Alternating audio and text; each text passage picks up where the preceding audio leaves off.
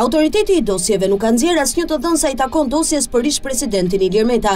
Ky i fundit dyshohet se ka qenë bashkëpunëtor i sigurimit të shtetit, por kishte ngërçe në zbulimin e të dhënave. Ligji i vjetër ndalonte verifikimin e subjekteve të komisioneve Bezhani e Mezini, Meta ishte verifikuar prej tyre dhe dosja nuk mund të hapej.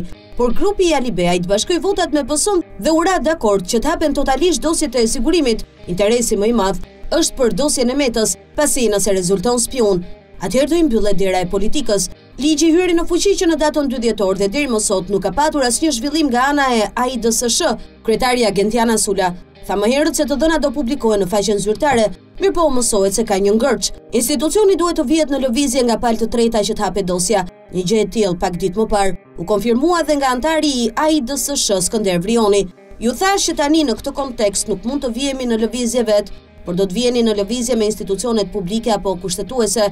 Të heqim edhe thashethemet dhe hamendësimet që të paktën funksionarët e lartë të jenë njerëz me integritet. Ka ardhur koha për t'u bërë sa më shpejt kjo procedurë, ky katharsis, përfundoi Vrioni. Pra, që autoriteti të vihet në lëvizje, duhet që mazhoranca ose kuvendi të bëjnë një kërkesë dhe të nisin procedurat. Deri tani mazhoranca duket se nuk e ka ndërmend të bëjë kërkesë, duke e lënë të qetë spiunin Ilir Meta edhe për këtë vit.